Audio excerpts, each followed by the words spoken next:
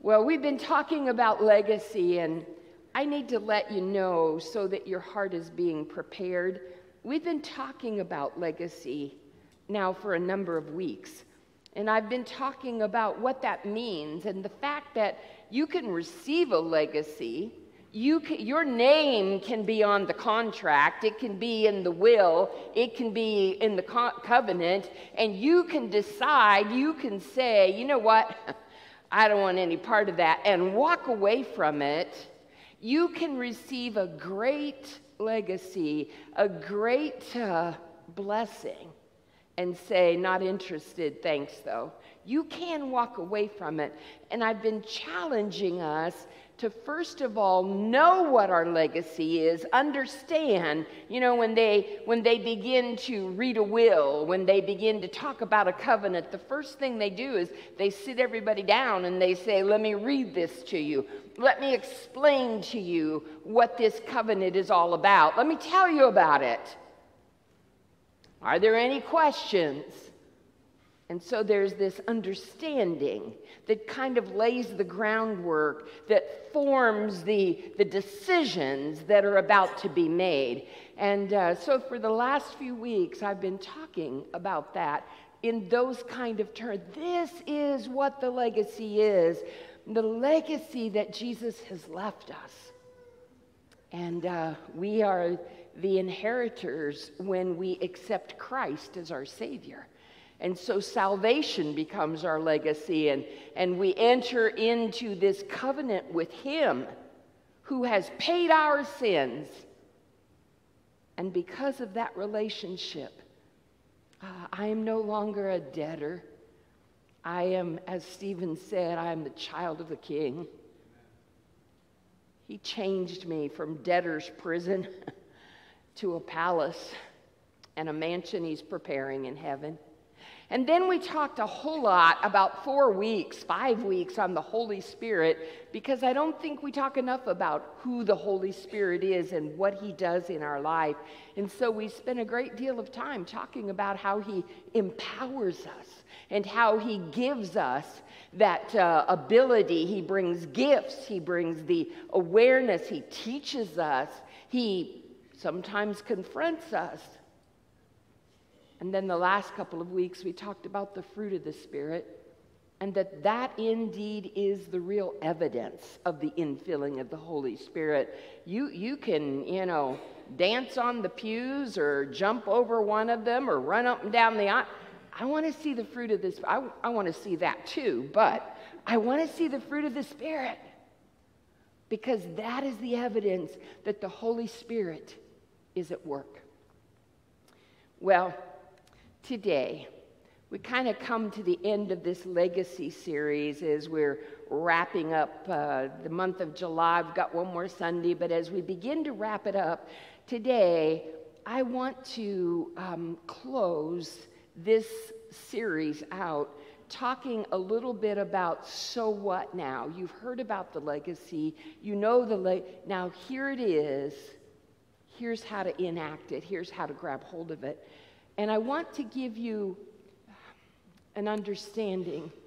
I've felt so prompted for the last few days that the most important thing that should happen here today is a season of prayer in our church. A time when we just kind of slow this ship down and we pause and we spend a little bit of time. There are several folks that have asked to be anointed today. It just, God is at work doing something, and I think we want to be part of that. It's part of our legacy. So expect the sermon to be a little bit abbreviated, but expect our prayer time at the close to be a moment where the people of God, the sons and daughters of God, just sit around the communion table called the altar we make this place, this whole place, an altar. If you're watching online today, I want you to be prepared. When I'm done preaching, don't shut this off. I want you to know that the close is not the end of the sermon. I want you to be aware today that our closing is really the time we're going to spend with the Father. So, in the legacy series, and what I want to present to you today, it's a sermon, it's a message, it's a legacy that's been passed from generation to generation to generation. And today we pick up the words of Peter. And every so often I point you to 1st and 2nd Peter. Today I want to point you to 1st Peter. And I want you to hear the words of this disciple of Christ who is the apostle. Once Jesus uh, has ascended to heaven, he becomes an apostle. He literally becomes kind of a, a leader in the church. He becomes the rock that Jesus had prophesied he would become. Uh, you were Simon, which meant pebble. Now I'm going to call you Petra which means rock. And so Peter becomes literally this foundation stone in the church that Jesus is building. And in so doing, he begins to minister to churches all across Asia and Asia Minor. And he begins to speak to them and address them at the point in which we're going to read today in 1 Peter the church is literally there in Asia, Asia Minor. The church that he's writing to is literally under serious attack. We feel like we're under attack, don't we? I mean, in this country, I don't know about you, and I'm not, I refuse to get into politics, but I just have to tell you, there are lots of days I read the newspaper and wonder, what country is that they're talking about? Because that's not the country I know. So I wonder about that. I feel under attack. I feel as though uh, the nation I live in is under attack. I feel as though the values and the traditions that we have held as the Christian body of Christ, I believe they're under attack. I think the Word of God is under attack. I think we're living under attack, and there may not be anybody holding a gun at my head when I go out the door today. I, I, may not be threatened by my life, but I'm here to tell you my life, ah, it's a few years and gone. My soul, though, eternity, it's under attack. And we the sons and daughters of God, the recipients of the legacy, must therefore understand. That's what Peter is saying to the church when he's writing 1st and 2nd Peter. They were under attack. And I'm not just talking about politically, I'm not just talking about economically, I'm not just talking about values. Their very lives were under attack. And they were suffering greatly. And Peter writes to them about this legacy, and he begins to say to them, the, the very things I've been saying to you for the last six weeks. Do you know who Jesus Christ is? Friends, I'm going to ask you one more time today. Do you know who Jesus Christ is? He is the Son of God. He's born of a virgin. He lived a sinless life. He died on a cross called Calvary for my sins, for your sins. Do you know who Jesus is? I mean, do you really know who he is, or do you just know about him? Do you know that he loved you? Do you know that he brings healing? Do you know he brings hope? Peter is writing to them and in 1 Peter chapter 1, he's literally saying, "Do you know who Jesus is? And do you know what he's done? And do you know that a living hope that he brings to you?" And then he goes on and he begins to talk about, and do you know who the Holy Spirit is? He's literally telling these people in 1 Peter He's literally saying to them, Do you understand the legacy? He's saying to them, Do you understand you're like the first generation of the legacy? Now we're way down the line, but the legacy hasn't changed. And so Peter begins to write to them and he says, Do you really know Jesus? Do you really know who the Holy Spirit is? Do you know that when the Holy Spirit comes, he doesn't just come to keep you company while you go on living like the world? He doesn't just come to make you feel good in your sin. The Holy Spirit comes. And I sometimes wonder if the church knows this, understands this. And I don't mean this church only, I mean the church. Peter literally writes to them he says, Do you know that when the Holy Spirit comes, he comes to cleanse us, he comes to set us apart, he comes to bring holiness into our life, the choices we make, the words we use, what we think about, where we go, what we do, the attitudes we carry, the actions, the way we treat one another. Do you know who the Holy Spirit is? That's what Peter's saying to them. And they're saying, well, wait a minute, I'm under persecution. Do I have to think about that? And Peter's saying, Your lives, your lives, they're a blink, they're a moment in time. But your soul is for eternity. And so Peter writes to them and he says, Don't forget who you are. Know who Jesus is. Know who the Holy Spirit is. Know what happens when you join the co- when you when you make the covenant, when you you give your life to him. Know know who you are. And so he writes these words in second or in First Peter chapter 2. And I want to read them to you today actually out of two different um, passage or out of two different versions. So, hear the word of the Lord today for the people of God and hear what the legacy is and understand who you are. Know your identity. 1 Peter chapter 2, and I want to begin reading in verse 9. The scripture says this. Now remember, these are people dying for their faith. These are people who are being persecuted. These are people who are paying the price not like I am, that, you know, spending a few extra hours, getting up early, going to bed early, you know, doing a little extra here and there, paying a little. These are people who are paying everything to serve Christ. Here's what he says to them But you, you, you are a chosen people. You are a royal priesthood you are a holy nation. I doubt they felt very much like any of these. I'm just saying, when you've got somebody threatening your life the next day, um, this doesn't feel like who I am. And then he says this You are God's special possession. Why? That you may declare the praises of him who called you out of darkness and into his wonderful light. And then I want you to hear this uh, out of uh, the message, the, the next couple of verses. Hear this out of the message. He says to them, Friends, this world is not your home. So don't make yourself cozy. don't indulge, listen to this one, don't indulge your ego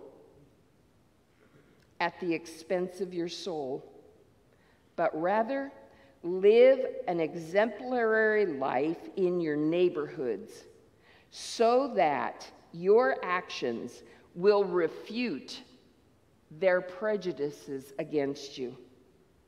Then they will be won over to God's side, and there they will join you in great celebration when He returns. I love that. I don't often read out of the message, but I like that one. Don't get cozy. This ends your home. don't take your shoes off. We're, we've got a place to go. We've got something to do. Well, I just want to share with you two things today. And I'm as serious as I can be about spending time in prayer then. So, here are the two things I want to say to you. First of all, Peter writes to them and he says, Your legacy you need to understand your legacy. Sometimes, friends, we become more informed about who we are by the world around us. We become more informed about the voices we hear in our head. We become more informed about what is being told to us. We become more informed by our fears than by the truth of the legacy. So Peter says to them, Here's who you really are you are chosen. You are chosen. You, you were invited. You were asked. I loved it when Stephen said to us this morning before God ever sent Jesus Christ to die on the cross, he already knew your name. He already knew who you were. He already understood that you would be formed in your mother's womb. He already loved you. You were chosen. And, and before we get to feeling really special and and uh, a little spoiled. That's true of every person. So the next time you cross paths with someone who doesn't treat you quite the way you think they should, or the next time you walk around and you bump into somebody you don't particularly care for, I want you to know and understand God loves them as much as He loves you. He loves them as much as He loves you the prostitute on the street, the drug addict laying in the gutter, the, the people that we don't often think about, care about, the people in this neighborhood who do crazy things. God loves them every bit as much as He loves me. He loves them every bit as much as He loves my children and my grandchildren if I understand who I am, if I really understand the legacy that is mine, then I want you to know and to understand the church has got to get this in the day we live in. Because I honestly think these are easy days compared to what's coming. That's my opinion. I think if we don't get ready, we're going to be sorry. And part of getting ready is understanding who we are. And so he begins to say, You're chosen. Not so we can bubble wrap you and make you feel good. Being chosen, and, and we've struggled over the last year. I mean, we've done amazing. Don't misunderstand me. This church has done amazing, but we've struggled a bit. We're still struggling. And we've had some folks who had said, Well, they just can't get it together. I'm leaving. I, I'm just going on down the road. I want you to hear me say this today, and it's, it's not a, about anybody, it's to us. When you're chosen, you are not chosen so that you can be comfortable. You're not chosen so that you can be in a place where it makes you feel good. If God has set you in a place, if God has called you to a location, if God has said to you, this is where I am setting you. That's scriptural, by the way. The Word of God says that He sets us in the body just as it pleases Him, not you. So if He has set us in the body, and that's our chosenness, then do you understand your chosenness is not so you feel good, it's so that His kingdom purposes are fulfilled his kingdom purposes fulfilled. I'm chosen. Not so I can walk around and say, Nana, Nana, I'm chosen.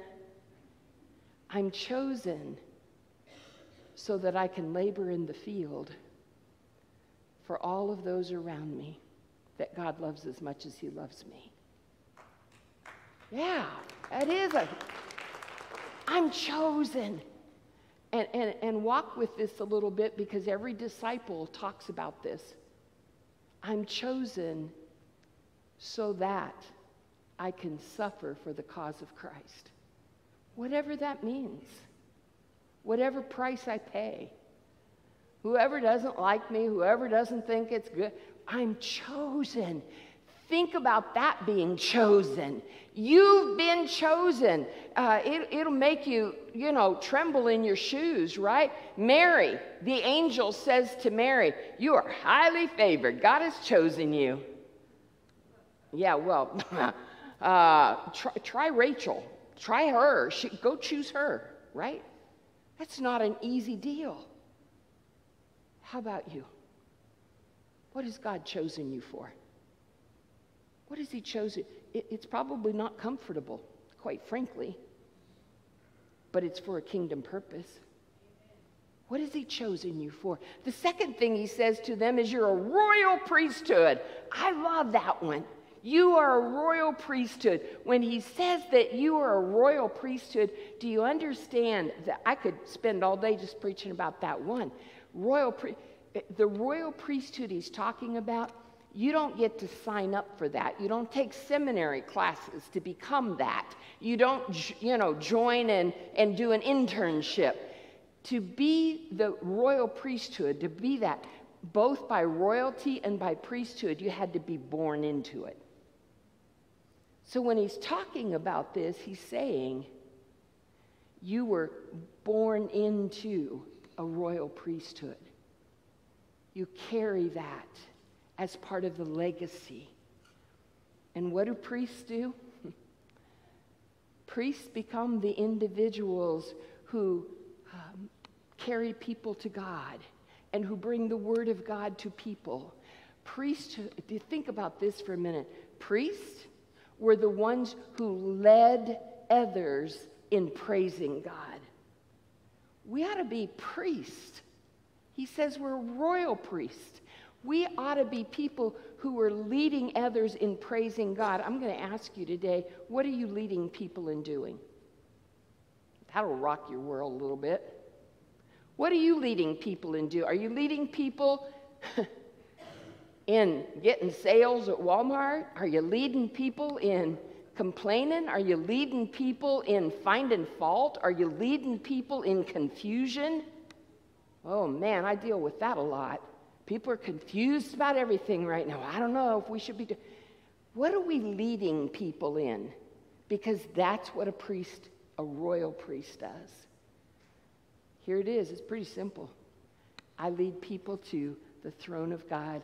I want to tell you about my Savior. I want you to know this amazing God. I want you to get to know the Holy Spirit who wants to infill you and bless you and, and give you power to be his witnesses. We are royal priesthood. So the next time, the next time you open your mouth, the next time you're part of a conversation, I want you to ask yourself the question Are these words of a royal priest?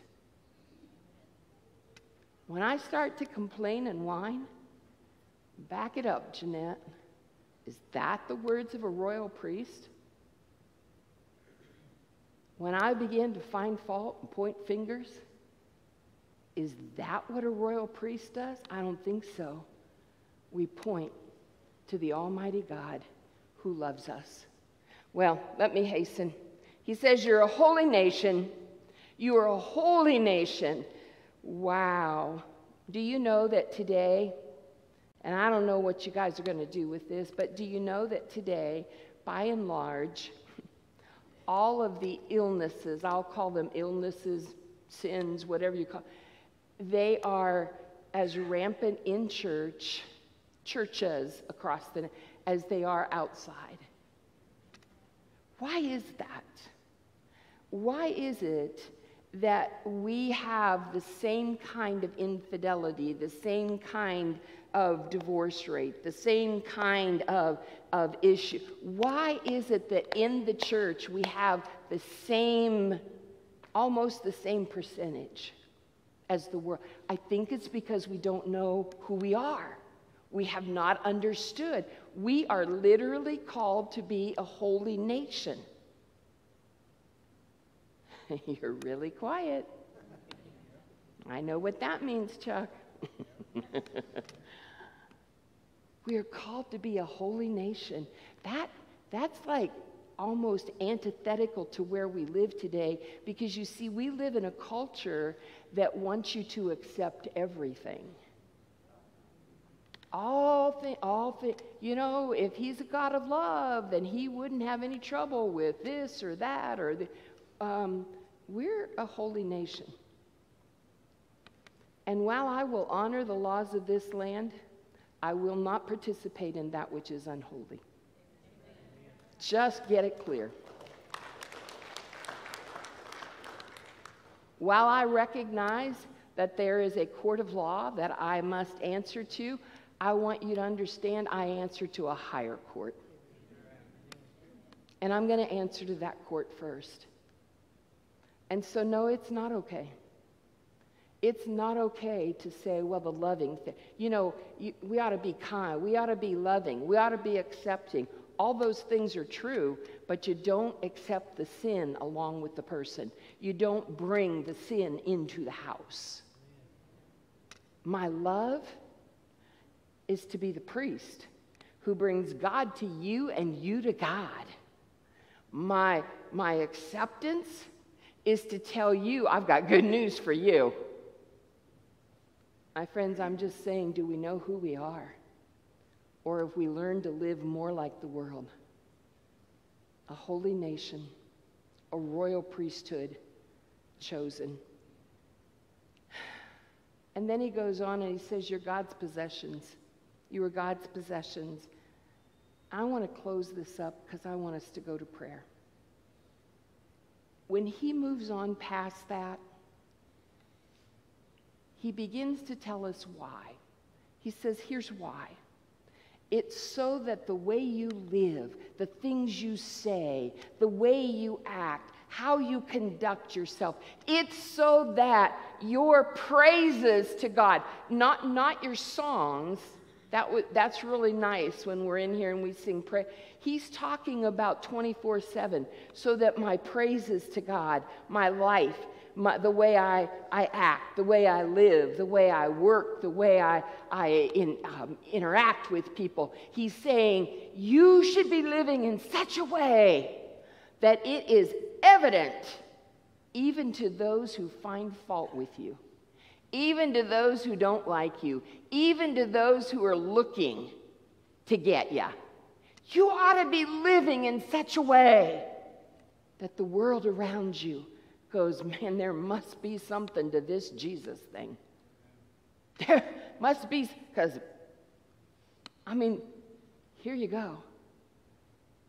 Friends, I'm just saying if we live like the world, if we hold grudges against each other or others, if we talk about one another the way the world does, if our mouths are filled with the same language as the world, if our lives are tangled up with the same things that entangle the world, how will they ever see our praises and know our God?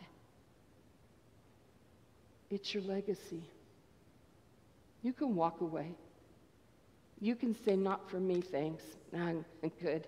I'm good. I, I just want to fly under the radar. I'm telling you this, you're missing your legacy. So today, we're just going to turn this place into a house of prayer. And I'm going to invite us, I am going to invite us to use these altars. Um, I know you pray, but sometimes we pray really safely. Can I just say that? We pray really comfortably. I want to tell you what we're praying about today, and we're going to be anointing some folks. Revive Ohio, you heard, Revive Ohio. My friends, there are hundreds of people coming to Springfield to talk about Jesus Christ to the Springfield community. Could we pray about that this morning? And I'm going to ask um, Stephen and Rebecca Roten, who are the chair people for our missions committee. Would you come forward? This is probably going to be pretty uncomfortable for everybody right now. Would you come forward? Doug Black, I saw you earlier. You have been our connector to Revive Ohio. Where are you, Doug? Would you come forward? There he comes. We're praying for Snyder Park. Guys, just take place here at the aldars. We're praying for Snyder Park. Do we have any teachers that are at Snyder Park? Do we have teachers in the Springfield district? If we have anybody connected to our schools. And where's Dave Riley? Is Dave Riley in the house today? If Dave, there he comes. Dave is our Kids Hope director. He is making direct contact with Snyder Park on our behalf. Friends, this isn't just, a, oh, isn't that nice? Dave's connecting with them. He'll take them bags of candy. This man, we're taking Jesus to them, all right? Educare. I don't see Nikki here today, but I saw Stephanie earlier and, and some others that are, there are, Greg, Greg is one of the members, board members to Educare. If you're part of Educare in any way, shape, or form, would you just come? We just want you to come and pray today. We're praying for our country. and I'm going to ask this morning if you are a veteran, would you just come and pray for our country? Would you come and kneel and ask God? If you're a military person or a veteran, if you're in the military, you've been in the military, I'm going to ask you to come and pray. Doesn't mean it's not my country, but I am going to ask our veterans to come now. right now. Thank you. you. Sometimes you just have to apply a little pressure. if you're a member of our search committee, if you are on our search committee, uh, Steve, I see you sitting there. I don't know where. Lisa, I saw Lisa a little bit ago. There are members of our search committee that are here today. Would you just come and be at these altars? And I don't care if you stand or you kneel or you lay down on the floor, I don't care. I'm here to tell you, friends, you better get serious about praying for your pastor that's coming. I don't know when. I don't know when. I thought they would come months ago, right? I don't know when. Here's what I do know it's not because there's reluctance on your search committee's part, not at all. It's not because they haven't been doing due diligence. I don't know why God is waiting. But you better be praying. Because I'm telling you, this church is in the balance. So if you love Maiden Lane, you better be praying. Lorna Koffenberger. She's been in the hospital for quite a while. She's finally home. If there's anybody here that knows Lorna, would you just come and find your place at the altar? We're going to anoint some folks here in just a moment. If you know Lorna, you're praying for Lorna, would you just come do that for us? Skip, Skip Mitterholzer is here today and his family. Skip has received some news that isn't the best news, at least not for his journey here on earth, but he knows his legacy, knows all about his legacy. He's claiming the legacy. But we're asking Skip, he's asked, Can I come and be anointed? Can I have God anoint me? So we're going to ask the family, just, we got a whole altar over here for the Mitterholzers. Would you just come be a part of that? The Fanslers had some pretty bad news this morning about uh, a grandnephew of theirs that's being life flighted to Cincinnati. If you're on the Board of Elders, if you know Joe and Bonnie, you're connected to them, would you just come? Would you just be a part of praying for them? They are right now, this minute, transporting family members to Cincinnati, going to be with this grandnephew that they don't know if he'll live or die, 34 years old. We have a fellow pastor in the area. I know many of you have heard about it. His name is Greg Nerger. His wife, 29 year old wife, he's a pastor at Fellowship. His 29 year old wife passed away this week, leaving a three year old and a seven year old and a grieving husband. If you care about fellowship, I know, Julie, you've got some family over there. If you care about fellowship, about what's happening there, would you just come and pray for them today? Would you pray for the fellowship church? Would you pray for Greg and his family and what's ahead of them? Faith. Faith Pencil has surgery coming up, and she got some, some information that she's not overly comfortable with about that. And she's going to come today. Faith, I'm going to ask you to just sit on the front row right here. We've got space on the front row. We're going to ask you to come and sit.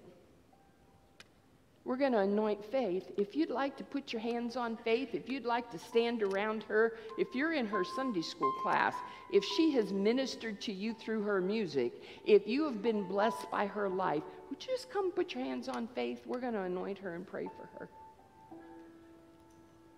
You've heard all of these. So many prayer concerns, so many needs that are here. If you're still in your pew and you want to be part of this prayer, get up and come on. Don't wait for me to invite you. The invitation has been made and it's called Calvary. If you want to be part of laying hands on any of these people, if, if you're saying, I don't know about that, I'm going to ask you to do this. If you're able, would you make your pew where you are? Would you make it an altar?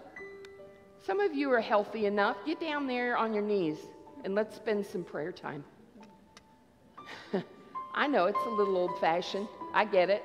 It's like, what in the world? Has the woman lost her mind? I don't know, maybe. But if I've lost my mind, I want to find Jesus in the midst of it. So, friends, I invite you right now. Would you make where you are an altar? These people are here. Would you pray? Stephen is going to lead us in some worship, and I'm going to ask you guys to be praying. I'm going to come by and anoint some of you. Would you be praying and worshiping for these things that we've talked about? And then I'll come back and close in just a moment.